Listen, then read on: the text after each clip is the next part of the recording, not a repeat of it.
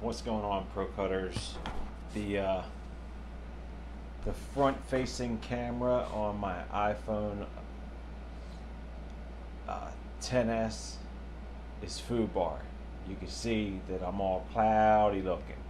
And that's because water somehow infiltrated a waterproof phone. And uh, so yeah it's screwed up. My uh, facial recognition doesn't work on it anymore. Really not happy about that. The damn phone is just over a year old. It's not even paid for yet. Easy payments, they said. You get a new phone. We don't offer discounts anymore, but we'll set you up with some easy payments. Yeah, easy payments, all right. And then when their piece of crap breaks um, after the warranty goes out, you're left with junk that looks like this. Ah.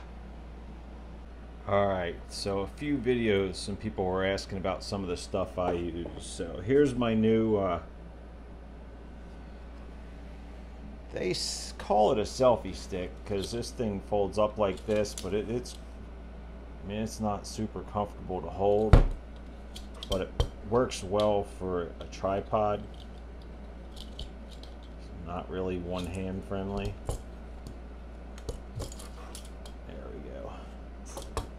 It also comes with a little remote. It comes out of there. It's uh, Bluetooth and you can use it for activating the shutter. And then it also has these quick release deals where it can extend up. And I think it goes up to like, let's see, what's the box say? Max height 1.33 meters. So it's pretty nice. It came with the um, a clip to hold your phone, and it also came with the uh, the GoPro adapter. All right, Pro Cutters. So now I'm back. Now I'm filming right off of the GoPro Black. So the um, that little tripod by Fugetek, it also comes with this carrying case. So some of the other stuff that I've gotten here to use, I've got the uh, the Wind Slayer foam uh, cover to try out on the GoPro, and uh, it got mixed reviews. A lot of reviews said that it was really good and uh, really helped with the wind noise on uh, motorcycles and things like that. And there were a couple that said it was useless. So I don't know. I figured I'd get one and give it a try. So I'll let you guys know how that works out. And then also, I like HV4's uh, night lapse videos and everything that he does. So he was sure to tell me that I had to get one of these covers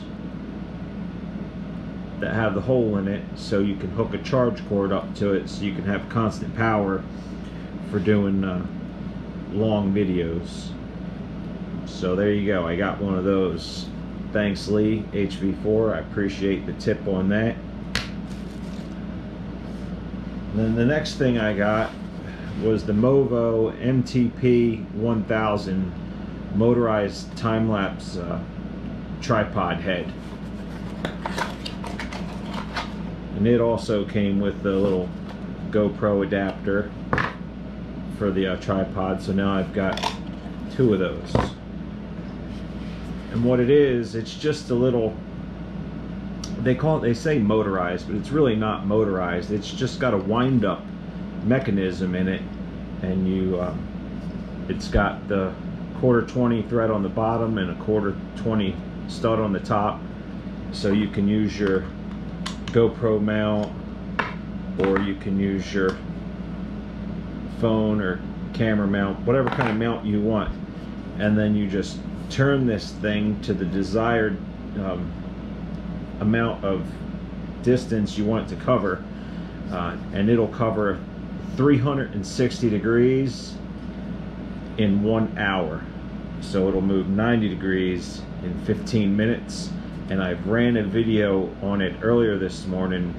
I'll be posting that up so you guys can see how this works. So the only thing I will say negative about it is as it's turning, you've got that tick tock, tick tock, tick tock clock sound.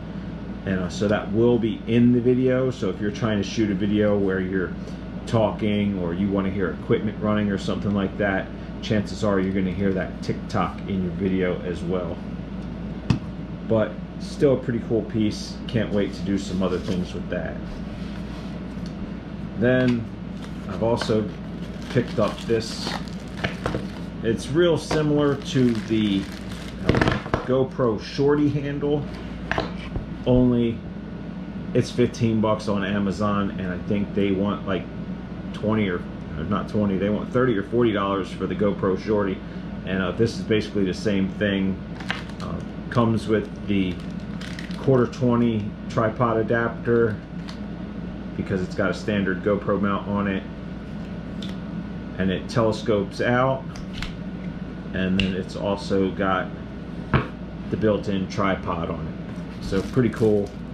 Um, it also comes with the holder for your cell phone. Got a damn good seal on it too. There you go. So it comes with the uh, the little spring-loaded holder to hold your cell phone or anything else. I've just got my uh, I'm running the GoPro app and so I could see what the camera sees on here. Works pretty well. Um, definitely uh, thankful that I picked up the GoPro Hero 8. It's it's been really good so far. I need need more practice with it. As you guys saw the uh, video I uploaded today where my mother-in-law helped me make a new sheath for my knife. The battery went out on me, so I replaced the battery, and when I put the new battery in and started the camera back up, I inadvertently put it into time-lapse mode somehow, so that sucked, but that's neither here nor there. I'll learn uh, more how to use it. So another thing I picked up is from Harbor Freight. It's just a waterproof hard case, knockoff of like a Pelican. I put one of my GoPro stickers on it. And then I've got all my cameras in here. I've got my Polaroid Cube. I've got the Dazn that uh, Ray FPV sent to me. Thanks, Ray. I appreciate it. This is a good little camera. And uh, Ray didn't need it anymore, and it was before I had my GoPro, so he hooked me up, and I appreciate that. And then I've also got Ray sent with it two batteries and a dual charger for that, and then I've got two batteries and the dual charger for the GoPro as well and all the cables to charge up all the cameras in there too. And it's nice, waterproof, rigid, so if it gets thrown, dropped, or whatever, all my cameras are safe. So that's it. That's all I got for you guys today. Thanks for watching. I appreciate you guys.